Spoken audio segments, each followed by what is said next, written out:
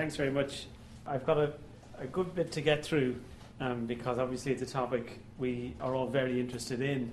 But I also am conscious that it's a topic that everyone has a lot of opinions about. So, what I might suggest is that if you have questions, do put up your hand. I'll try and avoid getting into very detailed discussions during the talk, but I do want to let you guide the, the talk as well as obviously my own thoughts on, on, uh, on Ireland's property market and how we've got here and where to next. In terms of what I, I hope to cover today, really there's just a few simple rules that I want to get out into the, sort of the general um, discourse when we, when we think about the property market. And this is from the point of view of, of buyers or sellers of property or renters of property, but also from the point of view of policymakers. If we can get these types of rules or stylized facts, as social scientists like to say, if we can get them into government thinking, it's unlikely we'll, get, we'll find ourselves in a similar situation again. So, the four stylized facts that I'm going to base the, the, the, the, talk around the first is that real estate is a bad investment. The second is that the property market is imperfect. Third is that accommodation is a service, and we need to remember that. And then the, the last uh, is that governments actually can have a, a proactive role in managing the, the housing and the property market. But it, it needs to view itself as uh, an organisation um, or a regulator that is managing a market rather than, uh, I suppose, intervening for the sake of intervening or, uh, or not intervening for ideological reasons. The context of this, given that it's the Dublin City Libraries, the context of this is that we've seen it all before. If you look at the price of a Mountjoy Square townhouse after it was built in the 1790s, uh, in all its grandeur, before the Act of Union, it would have sold for around £8,000 um, back in the day. Less than a lifetime later, it had fallen by 94% um, to £500. So we're, we're not living in unprecedented times from the, the, the, point of view of the property market. Certainly, the, the crash that we're seeing in Ireland now is among the biggest in the developed world at a national level, and it's, it's certainly in the, the top tier, the Premier League of property market crashes if you start counting, for example, cities or states within the US as their own economies comparable to Ireland. Ireland is certainly mixing it uh, among the countries that has had the, the most violent bubble and crash. But certainly, if you keep your perspective long enough, um, this is not uh, something that is unprecedented. Property prices rise and property prices fall, and we've seen pretty dramatic episodes of that in Ireland in the past. So going back to the, the sort of the four, this will be the sort of the outline um, of the uh, of the talk as well. So real estate is a bad investment. Um, it's sort of odd, um, particularly if you associate me with a sort of a daft.ie hat on.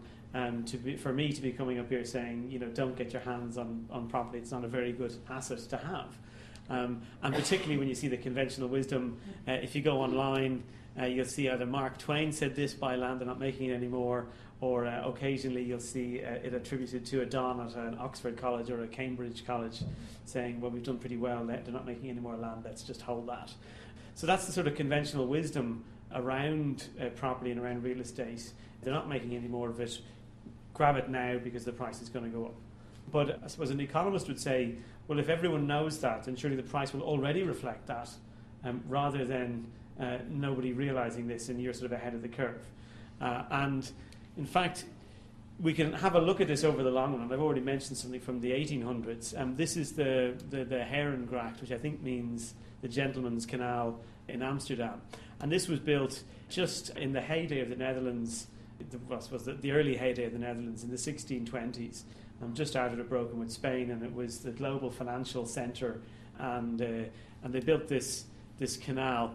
And it's one of the, the reason that I, I mention it is that they have every transaction ever on the Herengracht they have recorded in the archives, all the way from 1628 right through to 2012. And in the 1990s, uh, an economist did a study of transactions on this one street. So you know you're not comparing sort of different cities, or you know you're not comparing different house types. You're actually looking at sort of 50 properties traded over and over again for hundreds of years. And at first glance, you could make the case that um, you know, property prices seem to go up. Um, there's there's ups and downs there, but um, but definitely, if you look, and this is indexed, so uh, the price when it was built, when these houses were built, is set to 100, and you can see that, uh, that it goes up, and it seems to go up, uh, albeit with a wild swing, seems to go up there towards the end of the period. And if you actually extend that a little bit, that goes to 1962. If you extend it a little bit more to 1972, you have to reset the scale, and you can see, well, actually, you know, in those final 20 years, prices did seem to rise dramatically. So what am I here saying that you know property prices don't go up over time? It's not a good asset to have. Well, this guy did the study. What he also included was uh, this is nominal prices, so this is just what you see on the accounting ledger. But he also included real prices, so controlling for inflation. And obviously, general inflation comes and goes, and it's, it's also sort of swings and roundabouts. But when you adjust for inflation, this is property prices in the Herengracht in Amsterdam over almost, well, certainly 350 years. And soon, when they update this, it'll be nearly 400 years. And you can see there's certainly ups and downs, and there was a long period there where it was above the average, and then there was a long period, that's about a lifetime, this is about a lifetime as well, when it was below the average. But certainly, that red line is the, uh, is the average for the whole period. And as of 1972, you can't really see any difference from the long run average. There's a little bit, but not a lot. And in fact, if you were to just take a simple trend and say, well, what's the trend in this? The trend is actually down, um, that the real price of property goes down. Clearly, it's not a line. There's, there's sort of peaks and troughs. So there are, there are property market cycles. There's certainly no evidence from this one street in Amsterdam, um, for which we've really good information, that real property prices, once you've accounted for inflation, are that they go up. Sorry, so, Ronan, yeah. Sorry, very quick question. That are you including rent in that? That is uh, that is property prices relative to the cost of living. Now, the cost of living, um, as you measure it going back into the 1600s, it, it's probably going to be based off a, a, a, simple basket of goods. I don't think rent is in that. No, no, no. What I mean is, this is an investment on which somebody was getting a rental return on. Oh, oh yeah, no, no. This is. That, uh, let me come to that bit later on. Yeah, yeah. So this is um, this is just the conventional wisdom that if you buy your own property, that you'll you, you can make lots of money out of that, and that when you when you die, your property will be worth an awful lot more than uh, than than when you bought it. Um, and what this is saying is that well, certainly you can make the case that house prices match inflation. So your house is a good store of value. So if you were to get all your savings now, let's say you have 100,000 in savings and you put all into property now, um, what this is saying is that uh, at any given point in the future, we don't know what's going to happen in the future, but our expectation is that in 20 years' time, or in 50 years' time, or in 100 years' time, that 100,000 will have kept its value. So if we've switched to the, the new Irish punt, or if we're in a Euro 2, or if we're in the Euro, whatever happens, that property will more or less keep its value but it certainly won't increase its real value. And if you look at the literature, there's not a big literature on this. Um, studies like the one for Amsterdam are, are, are kind of rare. And one of my uh, one of my research ambitions is to construct something similar for Ireland over the same period. But certainly, there's evidence from the US over a shorter period, say 100, 150 years, that the same thing happens. If you look at, there's one on commercial real estate in New York, and there's one on house prices in Boston, and again and again on these studies, you find that property is very good at matching inflation, but never really beats inflation. And by contrast, if you have a savings account, that'll typically beat inflation. Now, this is obviously not taking into account any explicit rents. If you're a landlord rather than an owner occupier, a landlord will get rents, and that might that might change the calculus. But certainly, if you're if you're just looking at it for capital gain, you're unlikely to, to get it in, in property. But surely Ireland is different, and this is, you know, what uh, if this would be the slide I would have shown in 2007. You know, is Ireland going to be any different? And it looks there. You've got this very nice sort of exponential curve of house prices. This is based off. I should put the source at the bottom. It's based off the Department of the Environment statistics, merged with later data points like the DAFT uh, index and the CSO index. So that gives us one index going from 1975 to 2007. But again, this is just without correcting for inflation. And also, it's ignoring what happened after 2007, which are obviously all very familiar. So if you do both those adjustments, if you add in the extra couple of years, but more importantly, if you correct for changes in in uh, just everyday prices, what you see is a very different picture emerges. This is in uh, in current euro terms. So the figures there are what 100,000 euro is now, or what 400,000 euro is now today.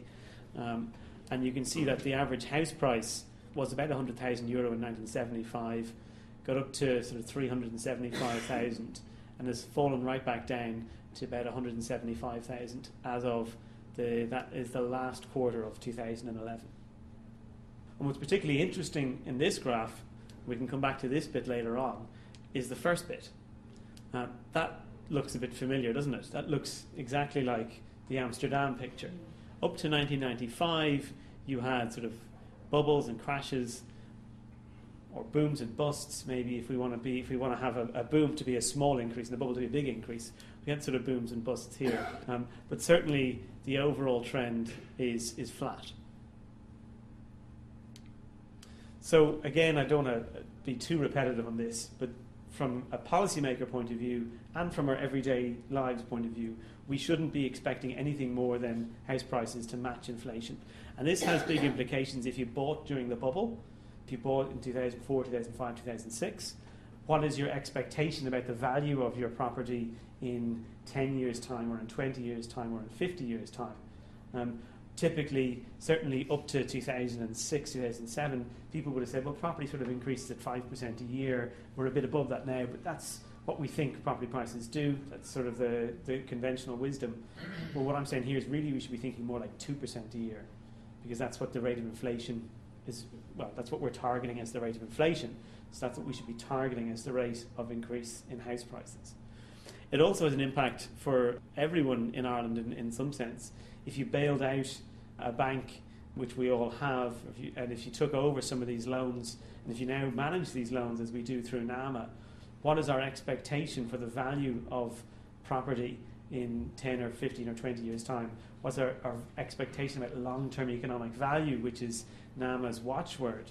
Well, really, you know, if we're thinking 2% a year growth in, in property prices, that's very different to perhaps what, um, what Brian Lenihan envisaged originally when he, he introduced the NAMA legislation. I think he had sort of a 5% a year model in his head. And this graph just takes a scenario where uh, property prices fall by about 60% to 150,000 uh, in next year, and then increase by 2% a year after that, nice and smoothly. Now, obviously, we know there'll be future bubbles and future busts, but we don't know when they're going to be. So, uh, without knowing them, let's just say, okay, 2% a year. And it's a useful exercise because it tells us when we might see property prices reaching their peak level again. And uh, they reached their peak in 2007. Um, by this stage, I will be hopefully retired in the 2050s. We don't know how long people in my generation will have to work before we get to retire. Um, but I hope to be retired by the time we see prices reach the same level again. And that's, that's important for, for policy as well as important for our own everyday lives and when we buy property. That's the first, um, the first sort of bullet point. The second one is that the property market is imperfect. And here I'll talk a little bit about sort of economic theory. In a way, I was implicitly giving out about policymakers um, for the last few minutes, saying what their plans were about NAMA and so on. Now I get to give out about economists. Um, uh, so economics is about assumptions in a way. And that might sound like a bad thing, but obviously we need to make assumptions. If we want to make any sort of model of the world around us, if we want to understand how the economy works without actually just replicating it completely. We need to make some sort of assumptions. Um, the, the, the, the, issue around assumptions is that some assumptions are made um, just to simplify, to strip out unnecessary detail. We don't need to know every last little bit and bit, and so we'll just simplify and assume that whatever it might be. The other category of assumption is made not out of simplification but out of necessity. We actually don't know how something works, so, in the absence of knowing how it works, we'll just assume that this happens. And uh, the danger in economics is when you mistake one for the other. When you say, for example, that, oh, well, there's no markup, that, that, um, that producers, when they sell their goods, don't enjoy any markup. you might think that's just stripping away unnecessary detail. And there is going to be some markup, but let's say it's 10%, but that 10% doesn't matter. When we want to understand markets, we'll just assume that there is no markup that, that producers enjoy. Well, maybe the markup matters in a way that affects the outcome.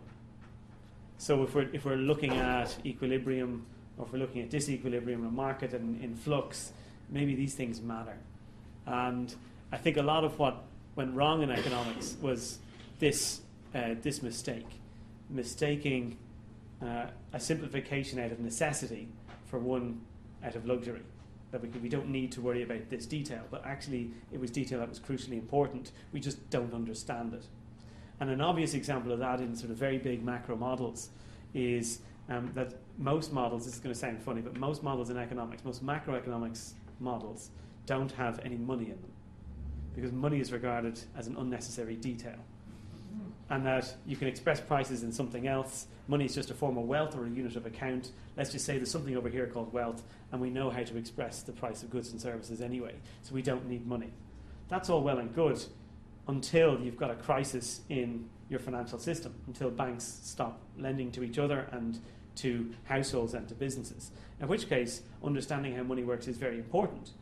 And that was a, a classic mistake that, that macroeconomics in particular made uh, over the sort of period up to 2007. And it's really just sort of getting on top of all this now, realizing there's one, one guy in Oxford has a paper called Putting Goldman Sachs into a Model of the Economy. And you know, it's, it's this idea about how do you put investment banking, how do you put um, liquidity crunches and uh, liquidity traps and credit crises, how do you put these into a model of the economy? That's all very highfalutin. How does this relate to the Irish property market? Well, one of these expectations that economists like to make is called rational expectations. And rational expectations means that people aren't stupid. That's its motivation, and that sounds you know, like a reasonable assumption to make. But de facto, what it means is that consumers and firms, but in particular consumers, can process all the information that's out there and come up with a completely balanced judgment out the other side. Now, this might be the case 30 years from now when we've got supercomputers that can take all these market signals and give us an answer of whether to buy or sell. But certainly now, and definitely 30, 40 years ago, people didn't have little models in their head that were crunching these, these types of regressions and coming up with coefficients. We just don't do that. And the question is do we not do this to an extent that affects the outcomes? And the argument I would make is that in property, yes, in property, what we tend to do, uh, not just in Ireland, but generally in property, is, is take the last five years, or maybe a longer period, but certainly the last five years, and use that as the basis of our expectation for the future. And this obviously gives the property market some sort of like, it, like it's, it's, it's, an extrapolative path. That because we buy now based on what we think prices are going to be in the future, um, that has an impact in terms of the prices today. So if you think property prices are going to go up by 5 or 10% a year over the next 5, 10 years, you're going to pay a lot more now than if you think prices are going to maybe be stable or even fall. So our expectations are hugely important in the property market. And if our expectations aren't rational in that economic sense of the word, if they're adaptive, that has a big implication for, for boom and bust cycles. Boom and bust cycles will tend to be amplified if we have rational expectations that's really just that point there in the headline. In terms of, uh, I suppose the, the, one of the questions in the title was how did we get where we are? We got where we are. We got such a vicious bubble and crash cycle by managing to tick every box in the you know the theoretical bubble. Um, there's a book by a guy called Kindleberger, and I, I, presume there's copies in the library, and it's a classic text, and it's it's reissued every sort of five, ten years to update with the latest bubbles and the start it, out, it outlines what is in a crash, what's in a bubble, and what's in a crash. And one of the first things that happens in a bubble cycle is something comes along, some shock comes along. It could be traditionally it was you know a new king uh, is put on the throne, um, or maybe a new government is elected. More recently, we tend to think of technological shocks that we discover something we didn't know before, and this changes people's expectations about the future. Ireland's sort of favourable change in conditions was uh, moving from 1980s stagnation to 1990s growth. This sort of changed the path of the economy. If you ask people in 1987 what they thought the economy would be like now in 2012, um, they would have had a very different answer than if you asked people in 1997 what they thought 2012 would be like. Uh, so that was an initial change, and that gave us an initial momentum in the mid 1990s, both in terms of economic growth and employment, but also in the property market. Now, you, that in and of itself is not enough to cause a bubble. To, to sustain a bubble, you need an increase in the supply of whatever you're having the bubble in, be it tulips or property or uh, shares of a particular company. And you also need some way of getting credit. Because really, prices only get crazy when people can borrow. Um, otherwise, there's only a limited amount of income. If people are borrowing and leveraging up so that they've got savings of 20,000 and they can borrow 200,000, that's really what adds fuel to the fire of a bubble. And in Ireland, we managed to tick both those boxes um, really, really well. Um, so entering the Eurozone gave Irish banks, which had a history of never really being able to get credit in, on international capital markets, they found it very difficult to borrow because Ireland was a small economy and was quite volatile and susceptible to, um, to attack by speculators or the markets in general. All of a sudden, these Irish banks were in the Eurozone and had access to, in particular, German savings, but just generally access to, to credit. Uh, so that was the, that was the accelerant. And then uh, to really seal the deal, um, to suck everyone into the bubble, you needed a fresh supply of houses because if there was only a set amount of houses, then not everyone would have been able to take part in the bubble. It might have been bad in a, in a price way, but it wouldn't have been bad in terms of sucking in as many people. So to suck in as many people as possible, you need an increase in supply. Typically, bubbles are about shares, so the company issues new shares. What we did in Ireland was we managed to have a huge increase in the supply of property, and that brought a lot more people in. And when that ran out, we just bought property abroad. So there were all these factors, there were all these boxes we were ticking about the stereotypical bubble and crash cycle. Um, but as of 2005, 6, 7, all these factors were here. That, that's not the clearest, is it? And um, there's three different shades of grey there. Mm-hmm. Um, but it's, uh, it's analysis of the ESRI and IIB, which is now um, KBC. Uh, they did consumer sentiment surveys. And they did them every month, but uh, in January they asked them what were their expectations about the property market. And you can see it doesn't really matter which group you look at long term owners, recent owners, people who want to buy, people who are looking to invest, people who are, aren't in any way interested in buying property. They all didn't see the end of the, the bubble. They saw a slowdown, particularly uh, optimistic were the, the people who wanted to buy. They said, no, I think property prices are going to increase by just 3% rather than 7 or 8%. But all of these factors that I mentioned on that, that slide, they were there throughout this period. And, and yet people just looked at the last five years and said, what happened over the last five years is the best guess for what will happen over the next five years. Sorry, could I just maybe sure. is there one factor that might be left out, an important factor, because of the sort of hierarchical or inequitable nature of society, that a lot of people, both in the media and in the economics area, had a vested interest also in speaking up the market. Um, uh, sorry, I don't yeah. mention because taxes and uh, oh, you know everybody's getting cut out of I, I think the weakness there is not so much that they wanted to talk up the market knowing that they were talking up the market. I think it was a blind spot. So they were talking up the market because they honestly believed it. Um, I, I think if you were, if you were in, if let's say you, you've got the sort of the, uh, when, when, when things go wrong, it's either because uh, people were, people were evil or people were stupid. Um, so either we didn't see something coming or we saw it coming but still went that way anyway despite knowing the consequences. And I, I think of it as the stupidity rather than the evil. Um, yes, there was a, a, vested interest, but I think it was blindness. That the, the people who were, had a vested interest couldn't see any weakness. Um, and if they, if they were able to see the weakness, they would have got out of it. They would have kept talking it up, but they'd have got out of it.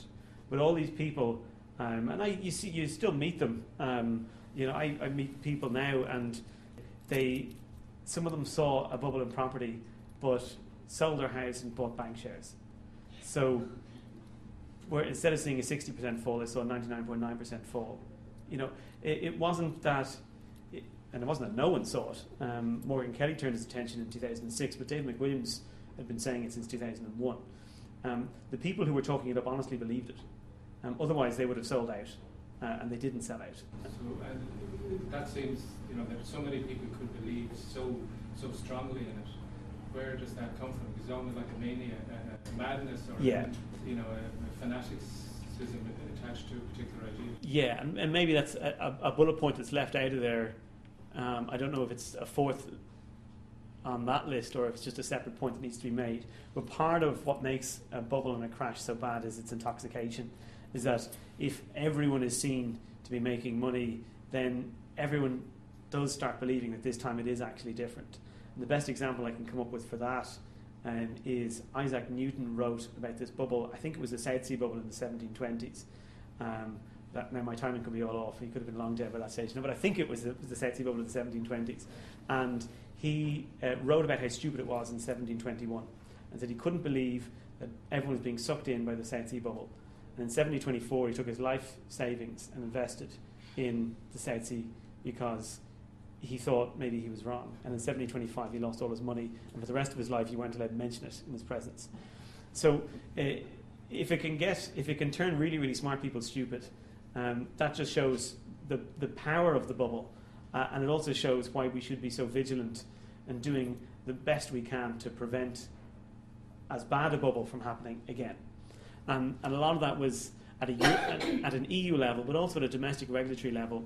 It was about getting used to life within the Eurozone. We prepared for entering the Eurozone, but we never prepared for life in the Eurozone.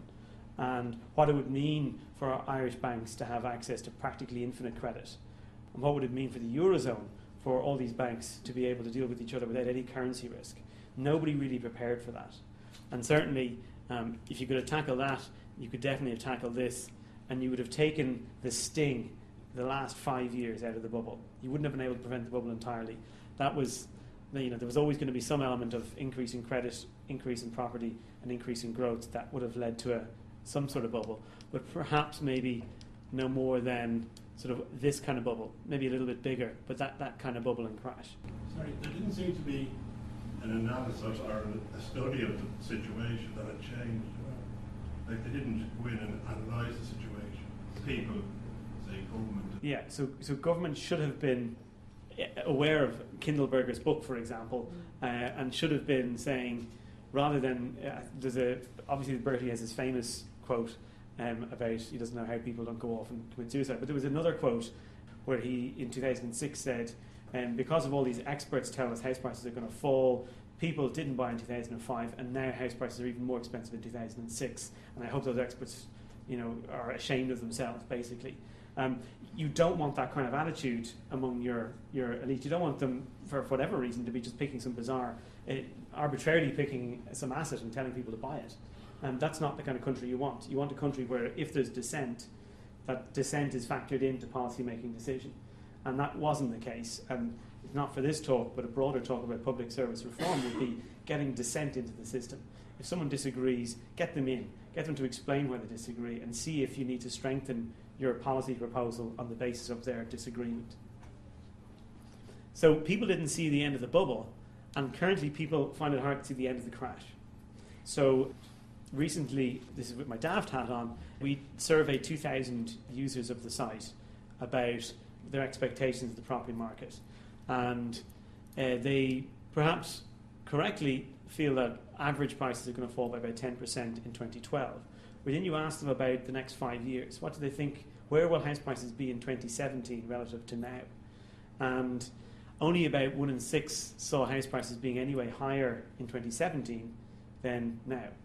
And that's only slightly bigger than the proportion of people who thought house prices would be at least 35% lower in 2017 than today, or than January when they were doing the survey.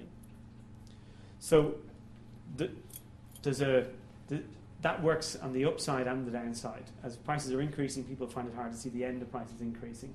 And when prices fall, people find it hard to see the end of property prices falling. And we are going to we're going to turn around one day and realize that the, the crash is long over. We, we, we won't turn around and realize the crash ended yesterday. It'll be a situation where only after a year or 18 months do you realize, but you know what, actually, the crash ended about 18 months ago. And that's, that's the way it works because the statistics are murky and it's difficult to know exactly when things turn. Um, and also because of adaptive expectations. People find it difficult to change their, their uh, sentiment towards the market. So, accommodation is a service. So I've said that you know when we think about the property market in our day-to-day lives, don't think of it as investing in real estate. Think of it as buying accommodation. And accommodation is a service. This is if, if for those of you who know your national accounts, we, we calculate our GDP by adding up consumption, investment, government, and trade. So leave out the government and trade for the moment. Um, housing is consumption, it's not investment. Building houses is investment, that's fine. So, but we need to think of, of property as a service, not as, not as, a, not as an investment. And I would caution against, you know, sort of, uh, to, we talked about Newton there a few minutes ago, I'd, I'd caution against Newton style economics, what goes up must come down.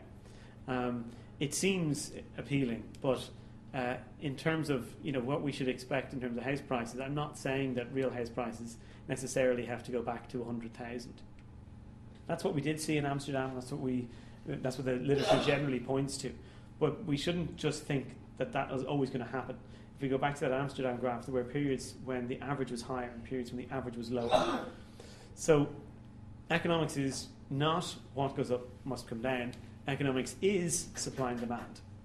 And we can pretty much take supply as fixed. The uh, sort of urban economists and housing economists tend to do this anyway. Um, that housing is quite a slow thing to, the supply of housing is quite slow to move. Even if people start building now, it takes a number of quarters, maybe even a number of years, to get a real change in the supply of housing. But specifically in relation to Ireland, there's so little construction activity at the moment, uh, and that's unlikely to change anytime soon, that we pretty much know the supply of housing in Ireland for the next five years. So if supply is fixed, then we need to look at demand. And typically, uh, people look at the sort of the income to house price ratio. That's the easiest for an individual household to do because they know their income and then they just multiply out and say, okay, well, let's say four times our income, and then we get uh, a house price, and that's our budget for housing. And that's about affordability. Um, and if we look at house prices relative to incomes, we can go back to 1988. I haven't yet found good income data before 1988. But we can, if you look at 1988 to 95, and 95 was sort of that cut-off before things changed, the average house price was about three and a half times household income. Now, household income is different to the average industrial wage. Household income is if you've got, um, let's say, 1.2 jobs for every household, that means every fifth uh, household has two people working in it. You need to factor that in. And that did change a bit. We went from sort of um, every sixth house having a second income to every third house having a second income, second full income um, between 1990 and 2005. Now, that's sort of a that's just for your own. Um, that's more sort of like a, a postscript or a footnote that when you're calculating your household income, we're looking at the country. You don't get sidetracked by the average industrial wage. You do actually know that you have to multiply it up by something. Anyway, that's for the mathematicians among you. The point of this slide was that up to 95, you were talking about three and a half times household income was the relationship between the average house price and the average income. Uh, in 2005 2007, we'd gone to twice that. We'd gone to about seven and a half times um, the average household income. And what you can do is you can actually do a nice exercise and say, well, if we had never gone above sort of this long run average, what would house prices have been? In Ireland. And that's the dotted line in here. So, how should house prices have evolved if you believe that this income ratio is the best way of calculating house prices? Uh, and you can see that it was roughly right up until about 1996, and then house prices increased a lot faster than they, they should have. But the fall has been a lot greater because the fall in income hasn't been as large as the, uh, even taking into account unemployment, hasn't been as large as the fall in house prices. And perhaps optimistically, we can see that the gap here in 2011 quarter four is actually quite small. Uh, if you believe this, this house price to income ratio is what matters. What I would say is that um, we need to be careful with the income ratio. It's a symptom. As I say, it's affordability. It's not actually the root of what gives a property a value. It's not the cause, it's the symptom. Uh, and some of the increase in house prices may actually be due to the fact that Ireland went from a high interest rate environment to a low interest rate environment. Suppose incomes never changed, but we went from uh, Ireland having an average interest rate, as you can see there, of say 12%, to Ireland having an average interest rate of, let's say, let's say 6%, 12% and 6%. Then you would expect house prices to, to possibly double because the affordability banks ultimately go by what you can afford on a month to month basis. And if the interest rate is half of what it was, then that, those first few mortgage repayments are going to be, roughly speaking, half. Not, not quite, but something like that. So maybe some of the increase we saw in house prices is just to do with the fact that we've gone from being our own sort of our own economy battling against all the odds to being a bit like one of the US states, safe in the comfort of the Eurozone. Of course, we all know it's not as straightforward as that, but let's say safe inside the comfort of the Eurozone. And really, when we think about the value of property, ultimately it comes from rents. It comes from the value of the service that someone is enjoying. So, uh, for example, uh, income multiples won't tell you why two houses next door to each other are very different in terms of price, or why one city is more expensive than another city. Um, so, when we're calculating that GDP um, figures and we're adding up consumption and investment and government and trade, one of the most important services is what's called imputed rent. And this is what owner occupiers enjoy as they hold some of their wealth in property. They enjoy a rent that they never have to pay. But what is that rent? Can we understand what that rent is? How much it would be if you were to try and rent out the same accommodation you currently own, if you own accommodation. And in that sense, the ratio of rents to house prices is much more fundamental to what property is worth than the ratio of incomes to house prices. This is just a summary of some of the academic research I'm doing. It's, it's trying to f- figure out what gets capitalized into house prices. And there's all these different services that we have that are reflected in the price of houses. But to, how to read this is if you're, if this is going from one kilometre away from a particular amenity to 100 metres away, so if you move a property from a kilometre away from the coast to 100 metres away from the coast, the effect is about 10%. You increase the value of the property by 10%. These are the different services. You can, the coast is one. Um, there's a, if you're close to a, a, a polluting factory or facility, um, you get like a, a, one or two percentage point penalty for being close to a, polluter. Being close to a primary school seems to have a big negative impact, um, which is a bit counterintuitive. You go, why would being, why would be why would be close to a, a primary school be? It's noise, it's congestion, it's the lack of parking spaces. These things get factored in. Um, part of my next phase of research is to separate out small schools and big schools, and with secondary schools, progression rates to third level education, and see if people are willing to pay for good schools rather than schools where, which have a poor record or which are maybe large classes, whatever it might be. What's the second one on the list? Um, so that's bathing, that's actually beaches and bathing facilities. Um, so being close to a beach rather than the coast, or in addition to the coast, has a huge impact, especially in the bubble, um, but also in the crash. Um, and then there's a comparison of urban versus rural, and then prices versus rents as well. So as I say, a lot of the detail here is superfluous to today's talk. But the point of this slide is to show that an awful lot of things get factored into to, to house prices and into rents because these are services that we're paying for. And the value of a property is it's the number of bedrooms, it's the type of property it is, it's the size of the garden, it's the amenities that it, that it has access to. Uh, and that's if we can if we can think in those terms, we're much less likely to ever get caught out with with bubbles and crashes in the future. We will never be able to prevent them entirely, but we certainly won't accelerate them as we did in the in the past. So this is um, maybe if, if there are any potential first-time buyers in the, uh, in, the, in the crowd, this is maybe the most important slide. Think like an investor. Uh, if you have a property that rents for 800 euro a month, that's annual rental cost or annual rental income, if you're the tenant or the landlord, uh, of about 10,000 euro. And what's happening in the fire sale auctions at the moment is people are looking at these, these 10,000 euro uh, rental income apartments or houses and saying, right, okay, that gets me 10,000 a year. I will give you 10 times that. I'll give you 100,000. In a healthy property market, they may say, I'll give you 15 times that, I'll give you 150,000. But they work it out as a multiple of the annual rent. And that's a very sensible way for a first time buyer to think. It's easier to think in terms of your own income because you know what your own income is and you can multiply that by four pretty easily. But if you lose your job, how much is, someone else going to be prepared to pay for that property? It's nothing to do with your income, it's to do with how much you would rent for, the, the services that that property offers you. Yep. What about the effective rent allowance? Yeah, yeah, that's um, that. That is, a, I, it was the. If I'd had an hour and a half, I would have gone into rent allowance.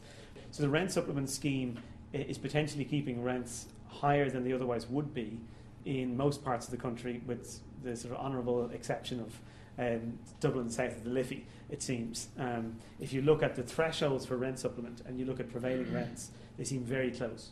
And uh, Minister Joan Burton is actually reducing the thresholds for rent supplement um, and the idea there is to try and let rents determine themselves naturally, find out what people are willing to pay, and then give people assistance based on what the natural price is rather than the taxpayer footing the bill and keeping rents higher than they otherwise would be.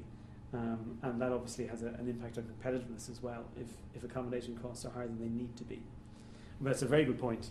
Um, it's something to be aware of. If, you, if you're looking at a particular property, is rent supplement keeping the rent higher than it otherwise would be?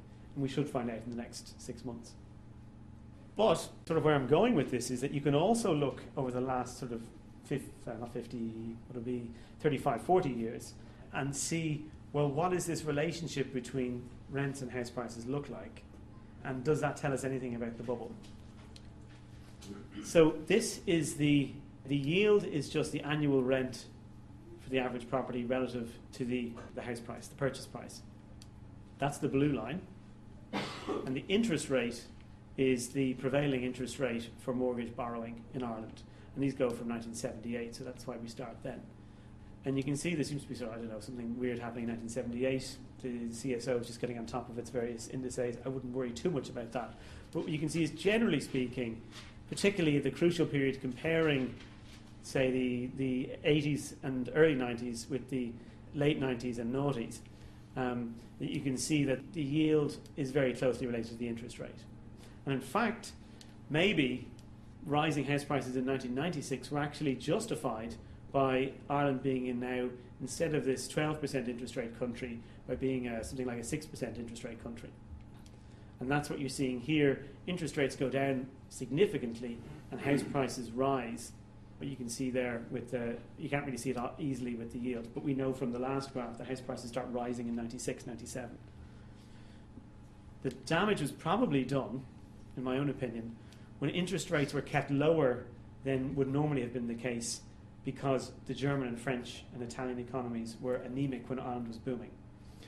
So, this, I would argue, the 6% is where interest rates will probably be in the Eurozone in the long run. But we had interest rates of sort of 4% rather than 6%. And that lured the yields down from where it seems to have been quite comfortable down for, for at least a couple of years. Then people said, well, hang on a second, it looks like we're going to have really low interest rates. Not 6%, we're going to have 4% interest rates. So that then sucked the yield further down.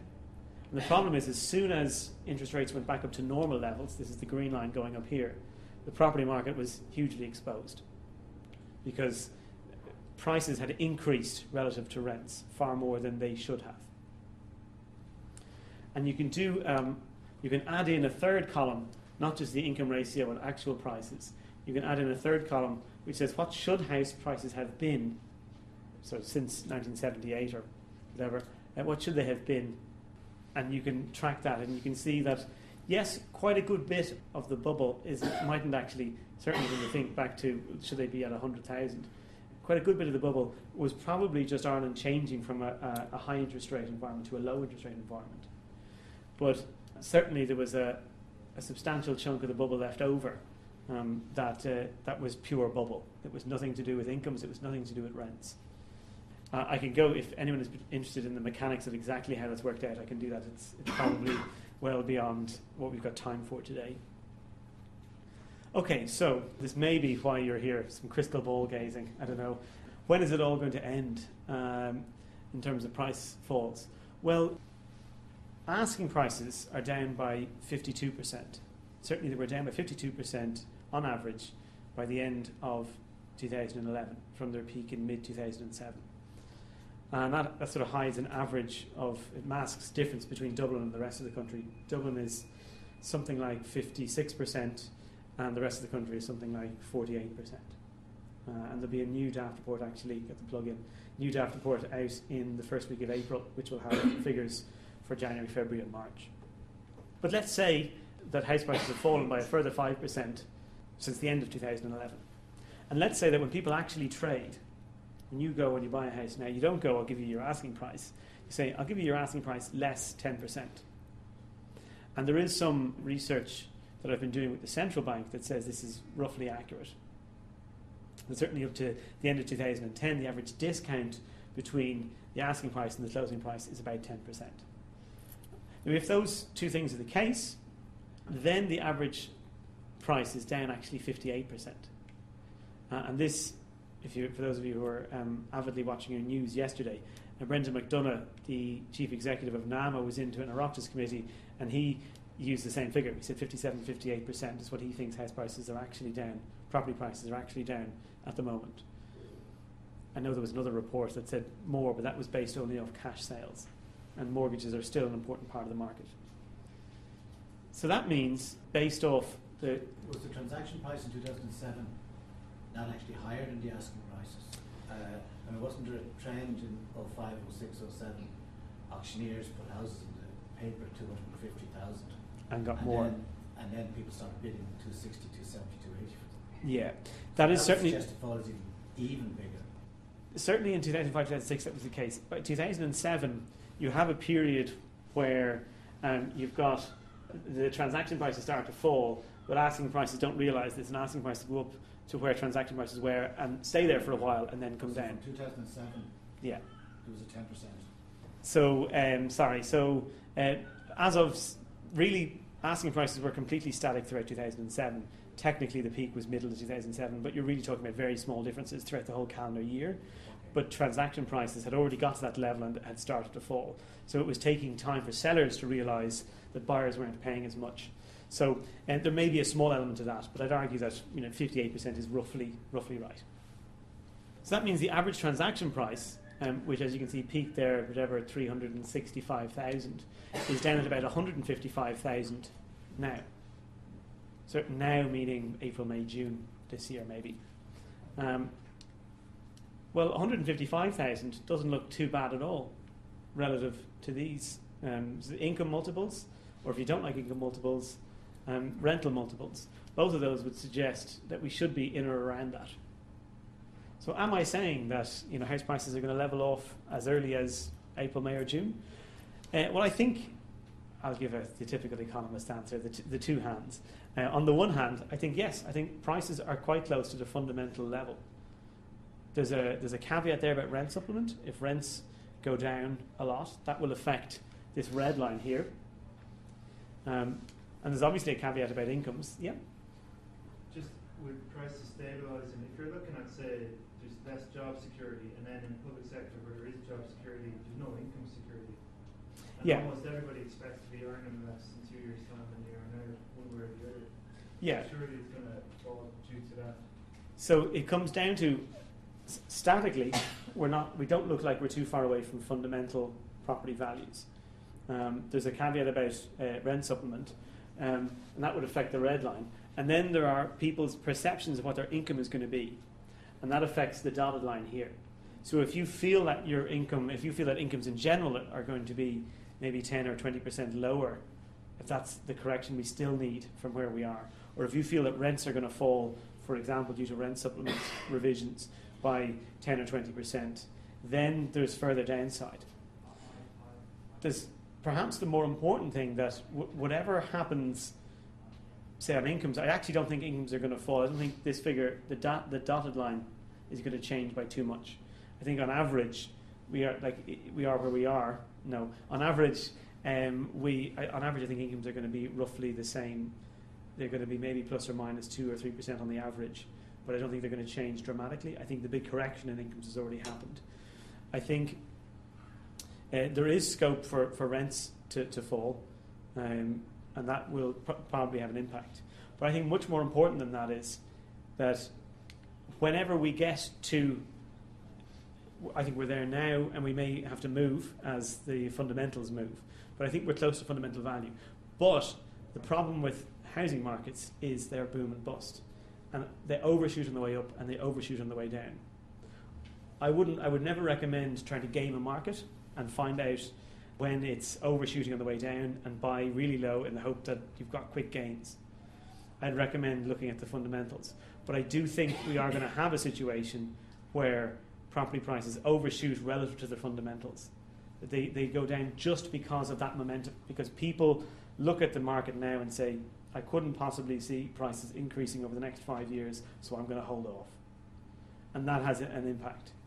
So, uh, in terms of the, the crystal ball gazing, you know, are we close to fundamental value? Yes. Does that mean property prices have bottomed out? Probably not. Isn't there some rationale in that in the sense of there's no great conf- no great confidence in the economy because of the debt money being taken out of the economy, the state of the banks. Um, you know, so there's no great sense of, you know, we could, you could base that, you know, because if there's money taken out, um, it, it's probably there's going to be less jobs and people, you know, they're going to be cut back in spending power. Yeah. Which is a vicious circle. And that's and that's yeah, and that is sort of affecting these fundamentals. If people's income is cut, it will actually be reflected in the red line as well. That that rents fall when incomes fall. So uh, and it'll also obviously affect this line here. And and the more you believe, uh, or anyone believes that our fundamentals are going to be affected, it's not just a cyclical thing. That we are actually going to have to step down, and that is going to get reflected in the property market. So just because I think they're close to fundamentals doesn't mean that anyone else has to. The fundamentals can easily move. Um, as things get worse, the fundamentals obviously are getting worse.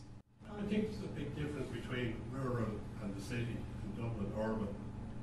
Like, people seem, in Dublin seem to be getting help from their parents, like, down the country, there's not as much money there. Prices are much, much, only half of what they are.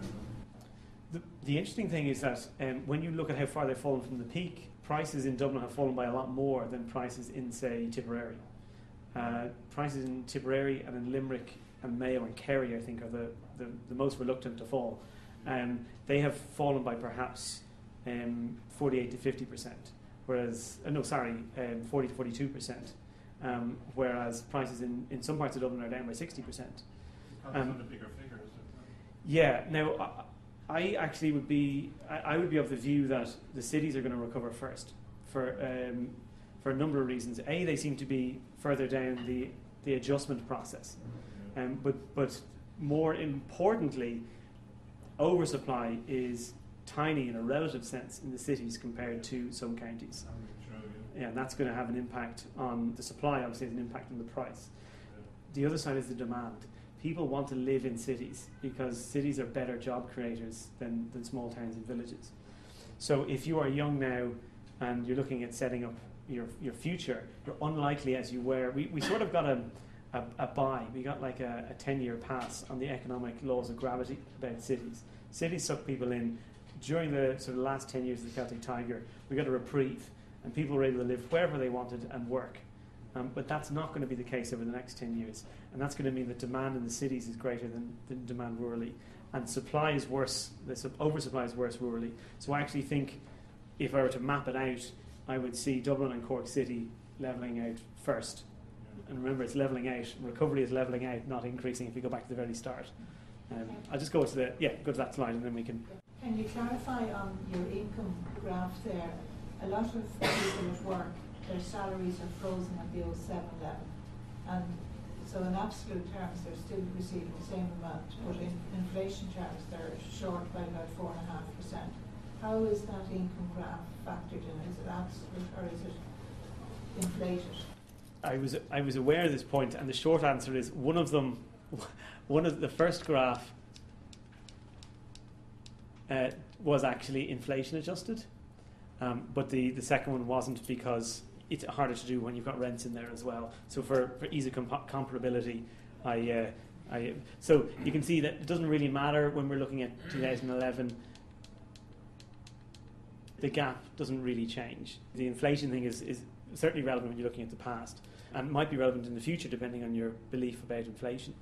But uh, it doesn't really change the conclusion too much about where we are now um, if you use nominal or inflation adjusted. I know I'm pushing quite close on time, so I'll. I mean, you've, you've got a sense of my overall view on, you know, getting this, these ideas into the policy making system so this doesn't happen again. Very, very briefly, in terms of quick ideas for what the government can do proactively.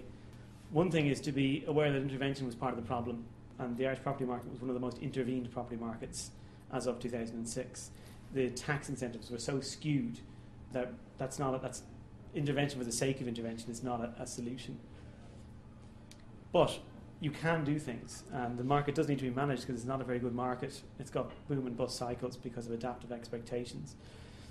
Sensible land use you can promote via site value tax that penalises people leaving land banks empty, penalises bad uh, or inefficient or socially unrewarding use of sites, and it encourages people to, to use the land as best as possible. You can encourage sensible lending by requiring banks to do covered bonds. This is what the Danish system does. If you want to lend over 30 years, you've got to go out and borrow over 30 years. When you go out and borrow over 30 years, you find out pretty quickly what people believe the interest rate over that period is going to be, and therefore you pass that on to your consumers. And it means that we'd be a lot less susceptible to what happens in the ECB in terms of month to month decisions. And the, the last one is sensible borrowing. And this is softer, this is about sort of the information infrastructure that people have. Um, but the publicly available house price register will be a large part of that, giving people the information to make the decisions. So that's where I'll leave it because we've used up all our hour. But uh, I'm happy to do questions as well, but I know some people may have to, to get back to work. Just one question. It, it's not mentioned in, in any of your slides, but do you not think our problems really began in 1977 when rates were abolished? Local councils had no money, they did build houses.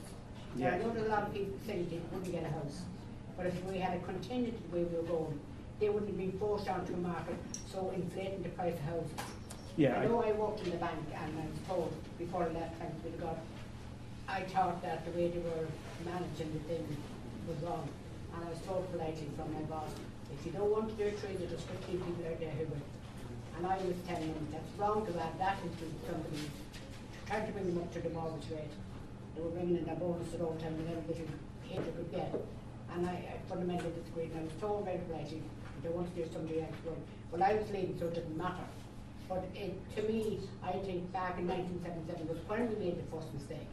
Because then we took no taxes on, uh, on any house even. Yeah. With no rates. The local economy had none. And now we're complaining about a 100 euro tax on houses or the thing, which is minimal.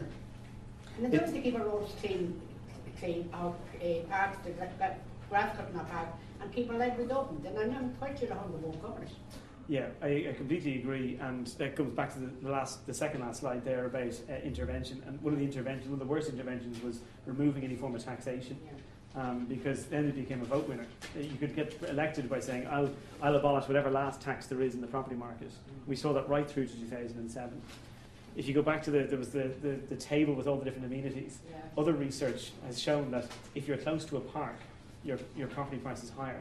And if you have a tax, like a site value tax, that reflects the value of your land, Yeah. you, you've, you've got a direct way of funding uh, local authorities to maintain parks, to, uh, to build new homes, to you know, whatever it might be, to maintain the amenities that they have. Yep, Ronan, I- excellent uh, presentation. Thank you very much. I really enjoyed Thank it. you very much. And learned a lot from it. Um, I agree with you generally, but I don't think you should be making a bold statement uh, uh, in, in its own silo. Investing in property, property is a bad investment. I think you have to say property compares to cash, bonds, and equities as follows. yeah, that's fair enough. Yeah, I, I think you have to look two of them. I mean, you said, for example, that cash has kept up with, uh, uh, cash has kept up with Inflation. uh, inflation, but you didn't, you didn't, you didn't apparently put in the rent on property. So if I had twenty thousand, which I think was the average price of a house in nineteen seventy-five, in, in a house, today it's worth one hundred and fifty thousand. If I had twenty thousand in deposit, it's still worth twenty thousand in nominal terms. Yeah, no, that's So- that's yeah, that's a fair a fair comment. I think, and you know, I, I defer to you, but I think property has outperformed cash over the last thirty or forty years. Uh, and I would say historically it has outperformed cash as well. I don't know what a few Dutch guilders were, were worth in sixteen forty, you know. But, uh, uh, I, I would imagine it's the same over there. I would imagine the, the, you know, whatever price you could buy a house on the Herrenstrasse or whatever, it would be a lot higher now. Yeah, no, um, that's. Uh, I mean, uh, that's a fair comment, and and really the point I was making was, it was trying to uh, bring some contrast to the the sort of the stylized idea that people have. As as you say, I. It is true that if you bought a property in 1970 and it was whatever it might have been 20,000, and now it's 150,000 or 200,000, you know that's that is true. But I, um, I guess the point of my slides was that don't expect that to happen again it, it might it might happen if inflation does it. So that's that they were re- well they weren't even real values. But let's say you go to real values and you say you've got an increase in the real value of housing, that mightn't. We shouldn't be expecting that to happen again. But I completely take it. I'm gonna I'll, if I give this of talk, I will be adjusting. And in fact, I want to include a point about equities, but I, I had a data source, but didn't have the time to crunch the numbers. Folks, maybe we finish it up there. So thanks very much.